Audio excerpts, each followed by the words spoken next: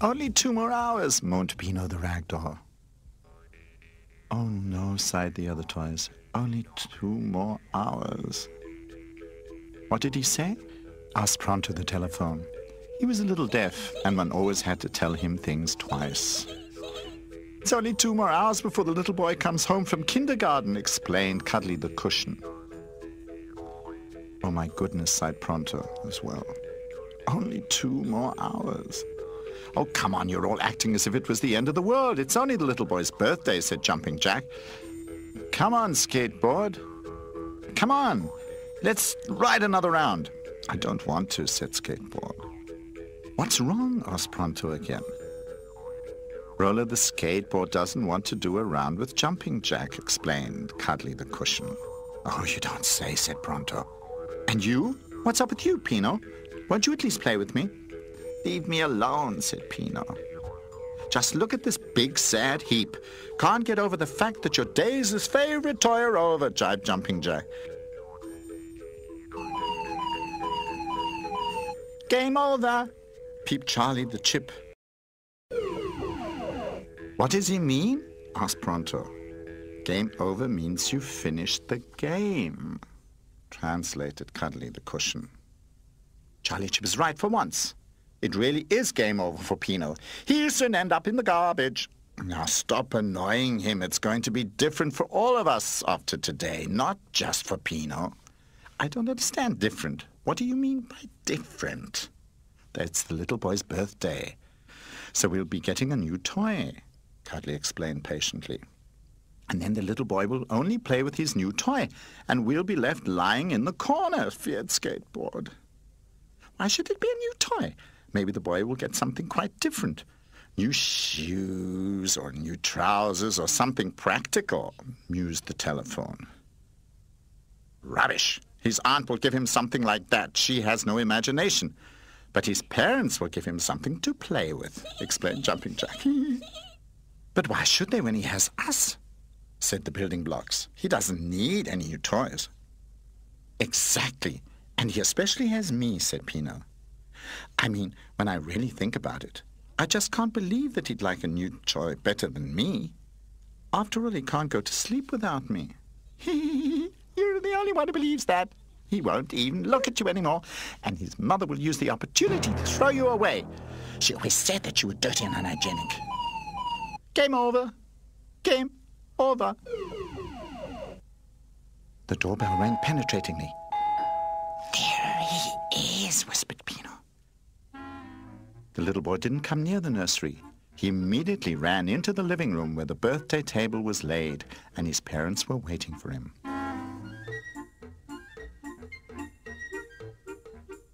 The toys also crept quietly into the living room.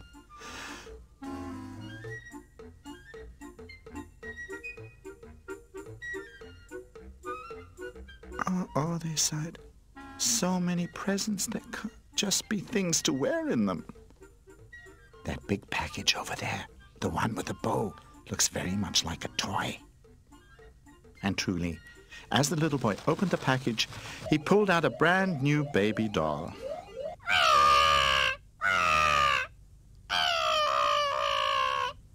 That thing's really ugly, cried Skateboard. There's no way he could love that doll, exclaimed Pino and breathed lightly. There's no way of knowing exactly. But there's one thing I can tell you. That thing looks as if it's really going to get on our nerves, added Cuddly the cushion. Pront had been holding his receiver out at arm's length so as not to miss anything. Get on our nerves? You mean even more than Jumping Jack? he asked aghast. and the new toy promptly started screaming. So loud that even Jumping Jack, he couldn't stand it. And he crept back into his box. When the little boy finally sat down to cocoa and cake, the toys returned to the nursery. End the alarm, said Charlie Chip. That little monster won't be of any danger to us. His friends nodded relieved, and for the first time that day their good spirits rose and they started to play. Pino helped the building blocks to build a wonderful tower, As they finished, the new toy came into the room. I'm Pamper. Which of you is Pino? She shrieked in that horrible baby voice. Everyone looked at Pino. Oh, it's you. Your Daisy's favorite toys are done. The little boy's only going to worry about me from now on. Pamper started shrieking. Shut up, said Jumping Jack, turning on her. Game over, game over, said Charlie Chip. Game over nothing. Laughed Pamper, I'm just getting started. and then knocked the tower over. Oh, ow, cried the building oh. blocks. Ow! That stupid thing destroyed my tower, said Pino. Oh, oh, things could get hot around here, Skateboard started scolding. You stop annoying us at once, or else you're going to get it from us, I'm telling you. I'm a baby, and babies are allowed to do anything. Just you wait and see. But at that moment, the little boy came into the nursery because even on birthdays there's a time to go to bed. He heard his new toy crying and immediately picked it up. Nah, what did I tell you? Grinned Pamper at Pino triumphantly. If I was in your position, I'd disappear of my own free will before they threw me out.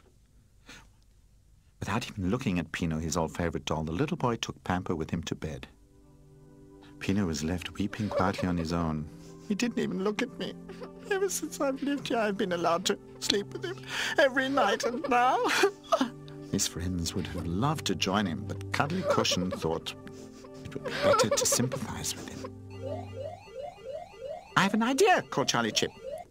Let's look in my game instructions on how to defeat an enemy. We don't need any game instructions for that, exclaimed the building blocks. We'll throw ourselves at its head, all of us at once. And if that doesn't work, I'll ride over it, added Skateboard. I could cut it open with my jumping spring, grinned Jumping Jack happily. or I'll throttle it with my telephone cord. Stop this now, scolded Cuddly. You've all gone crazy. No, first thing in the morning we'll talk to Pamper. He's bound to listen to reason. The toys looked rather skeptical. Pity, murmured Jumping Jack. Pino wasn't convinced either. His tears just couldn't stop falling. But the toys were tired after all the sympathizing, and one by one they fell asleep, except for Pino. He felt deserted. That baby's right. No one loves me anymore. I'm just a nuisance. They probably all wish I was no longer here. Pino decided to run away and never return. So he packed his bundle and scrambled out of the window.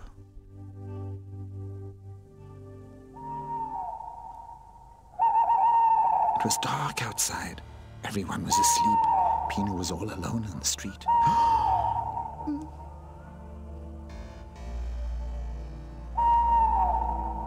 The others will see how they do without me.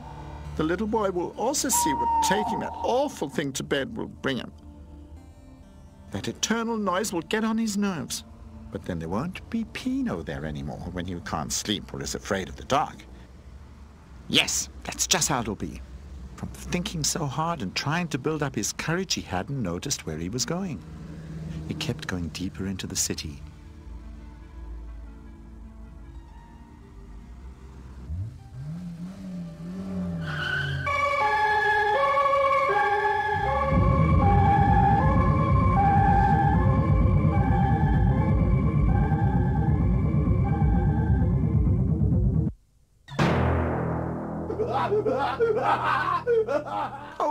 That's mean to throw away a banana peel like that. Hey, look, Mumph. Giggled Mum. I think he's just right for us. From the look of him, he should have landed here ages ago. Shall we snatch him, asked Mumph. Pino stared in shock. Stop it! I've done nothing to you. The streetlight leaned forward curiously to see what was happening. Do you want to get him or I? Mumph asked her brother. As much as I hate to say so, I'd love to have him, but I'm only allowed to take recyclable garbage, and this one could definitely not be used again. He belongs to you, sister, said Mumph generously.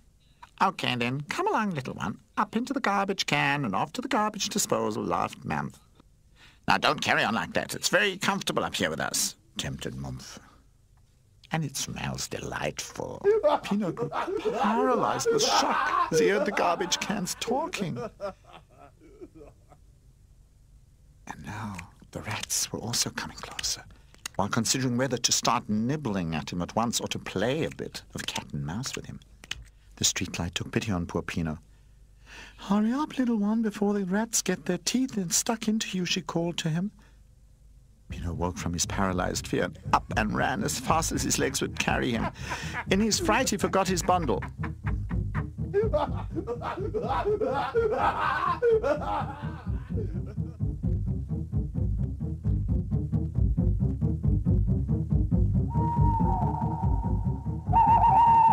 ran on and on without turning around till his legs couldn't carry him anymore. Gee whiz, where have I landed up? he sobbed and looked around him. They were all right. I really do belong in the garbage.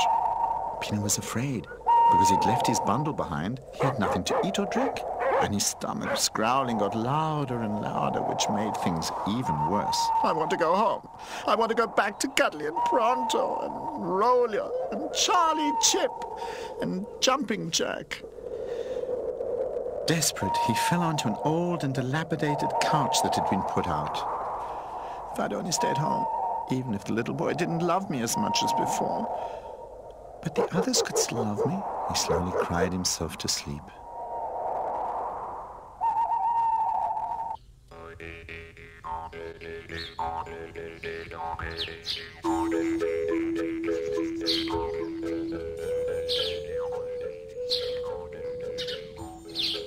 The next morning, the toys were all rubbing their sleepy eyes. An unknown noise had woken them.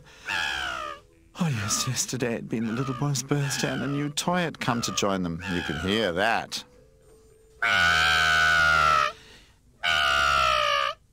Can't you at least shut up in the early morning, said Roller emphatically. You still haven't caught on. Babies are allowed to cry whenever they want to. Ha ha! grinned Pamper. You're not crying, you're screaming, moaned Pronto. You've even woken me, and I'm relatively hard of hearing. You've got a lot to learn, Pamper, interceded Cuddly. You belong to us now, whether we like it or not. We have to be considerate of one another. I don't have to be considerate to anyone. If I complain about you, the little boy, he'll throw you all out, said Pamper. The others all moaned. Where is Pino? All started looking around. When I feel bad, I creep into my box, and then I close the lid. But as Pino doesn't have a box, maybe he's crept under the bed. Roller surfed under the bed.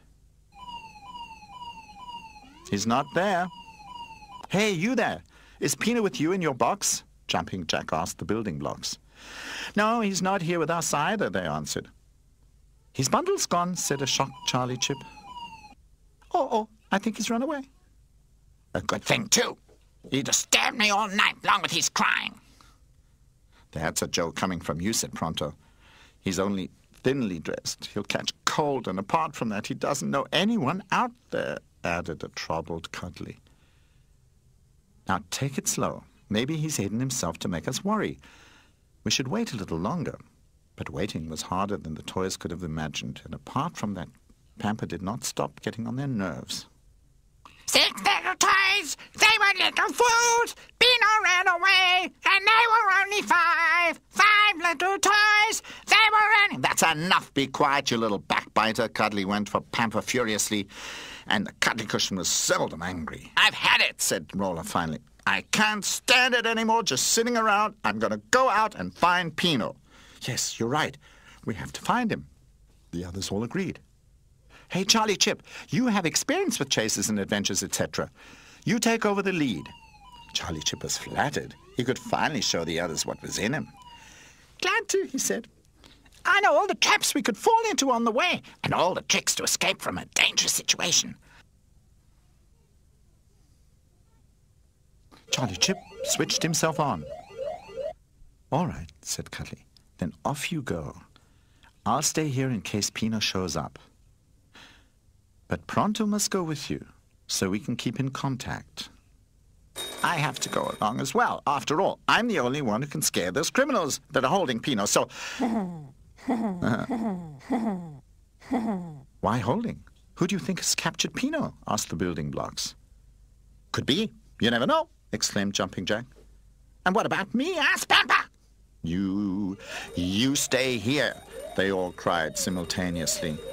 Your screaming is the last thing we need. Anyway, you're happy that Pino disappeared. You said so yourself.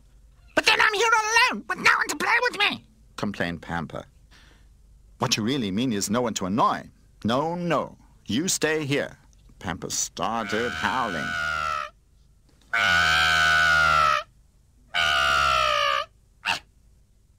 But the toys just ignored it.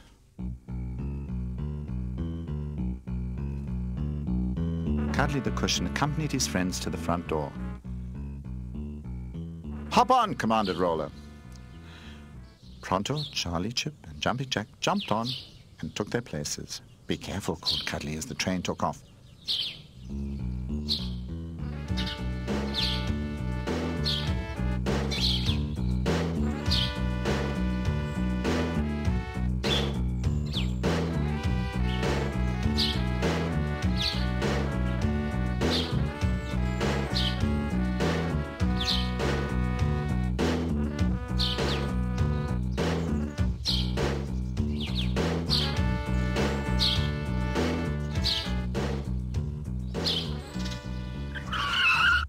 Don't see any tracks, said Roller.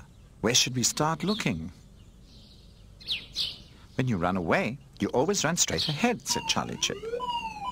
So that is what we should do too.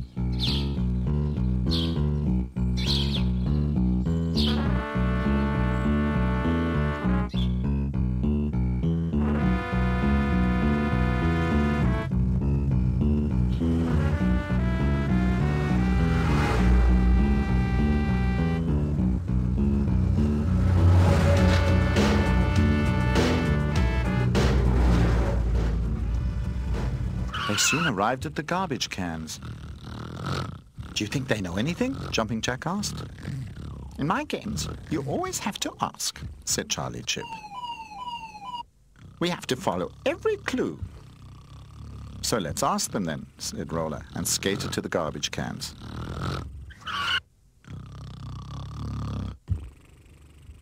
Hey, you there! Have you seen Pino? Pino? Who could that be? said Mumph. Well, he's a rather tatty rag doll. Yeah. With a striped cap? asked Mum. Yes, that's him, cried the excited toys. Pino. Pino's his name, laughed the garbage cans. we found him.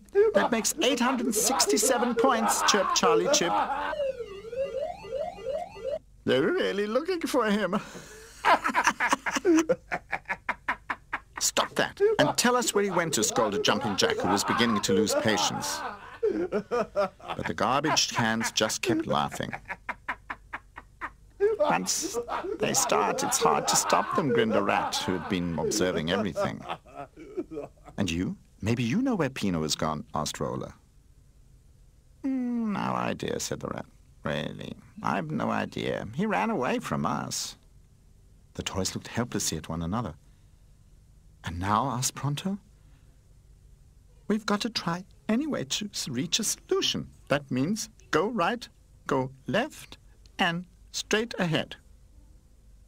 Then let's go right first, decided Roller. the toys went right, but there was no Pino to be found. Then they went left.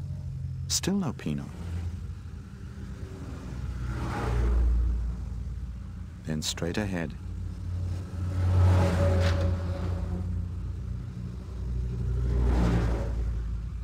And while the toys were searching and searching and growing more and more tired, Pino slowly awoke. Pino rubbed his eyes. Oh, wow! Did I have a bad dream last night? Oh, what happened was... Hey, where are you all? He looked around. He was sitting on an old sofa in a junkyard.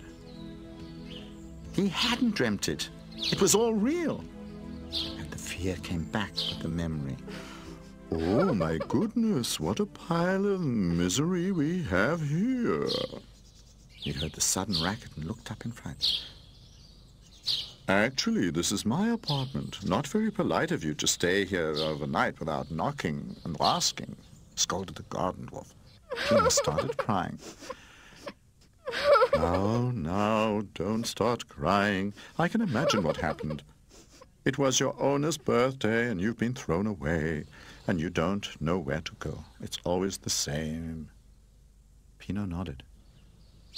Come on, tell me about it. Then you'll feel better. You'll see. By the way, my name is Michel. And so Pino told him of his friends and the birthday and the new toy. Oh, oh, that's bad, sighed Michel. I understand you well. My owner threw me away too, but then I settled down to live here in the junkyard. It's not that bad either. Come on, I'll show you everything. If you like it here, you can stay by me. I could use somebody to give me a hand. Slowly Pino stopped sobbing and followed Michel around. He proudly showed him his kingdom.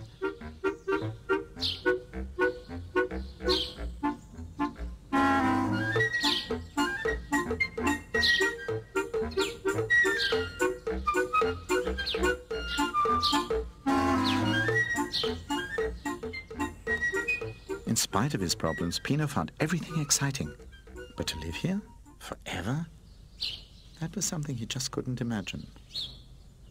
This may be all right for you, he said to Michel. You're used to living in the open. But what about me? Well, then, I don't know either, said Michel.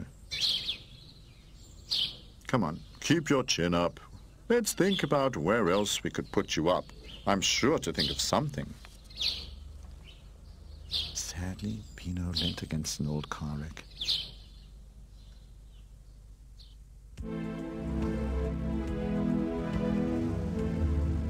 Meantime, Pino's friends were more and more desperate. They had searched the whole area, but found no Pino. Game over. What do you mean, game over? asked Roller. Just that.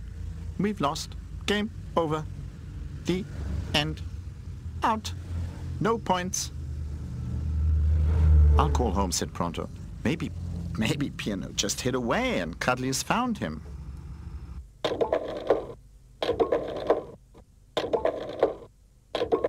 Have you found him? asked an agitated Cuddly at the other end of the line. No, just as you've asked. We presume that he's not with you either. No, answered Cuddly sadly. He's not here. Oh dear, said Pronto. What do you want to do now? Well, it looks, it looks like we'll have to break off the search. It'll be dark soon, said Pronto wearily. Cuddly sadly hung up the receiver. They didn't find him? asked Pamper. Cuddly shook his head. And now you want to make me feel guilty. Leave me alone.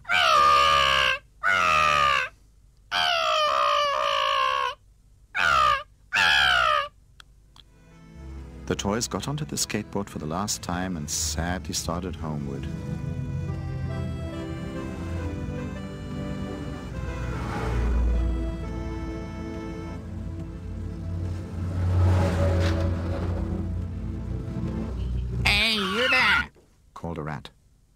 You're the ones that were looking for that raggedy bundle? How do you know that? asked Jumping Jack skeptically.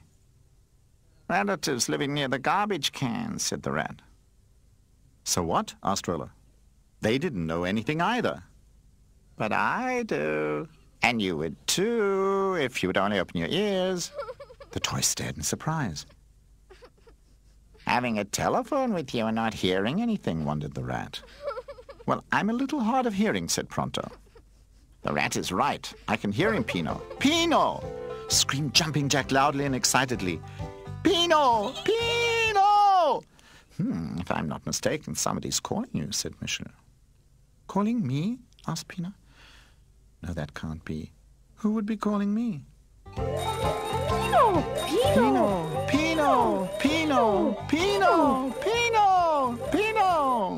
Oh. Jumping Jack, Roller, Pronto, Charlie, Chip. How did you all get here? Oh, this is great. Now don't start crying again, said Monsieur, obviously touched. Roller jumped happily in the air. They all tumbled around wildly and nobody cared. Do you live here now? asked Charlie Chip. Looks pretty interesting, stated Jumping Jack, whose head was at the highest extension so that he could check out the area. You could have ended up somewhere worse. Does that mean that you think I should stay here? Do you really don't want me to come back with you? Huh? Oh, but of course, naturally we do. Do you still want to? They asked. If I'm still allowed. But of course, said Charlie Chip happily. That's why we came looking for you. But what about Pamper? asked Pronto. I'll punch him in the mouth if he screams again or annoys Pino, promised Jumping Jack. That's right. Defend yourselves. Don't take anything laying down, said Misha. It's a pity, though, that you're going, Pino. But then, all children have birthdays sometime, and maybe some other thrown-away toy will pass by me.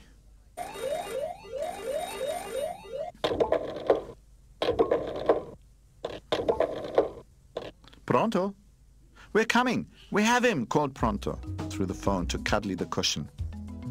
What? All the best, Pino, said Michel. All aboard, ordered Roller. Pino hopped onto the skateboard with the others, and off they went.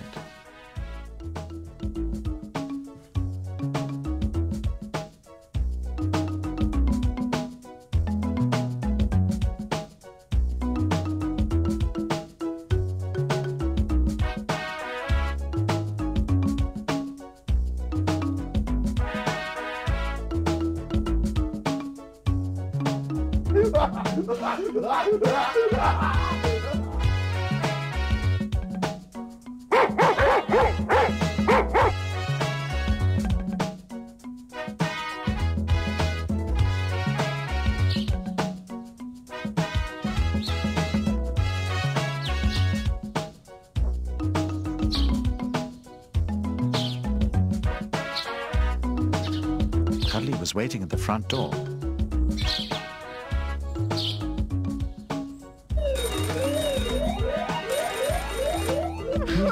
Hugged Pino happily. Pamper came up to the others carefully. Hey, Pino. It said in an unusually quiet voice. Leave Pino alone, Jumping Jack spat at him immediately. You know what? Pino said generously to his friends. It's not really Pamper's fault that the little boy takes him to bed with him. I'll just have to get used to the fact that he loves someone else besides me. But, he added and looked mischievously at Pamper, next year there'll be another birthday, and we'll be getting a new toy then. You'll see.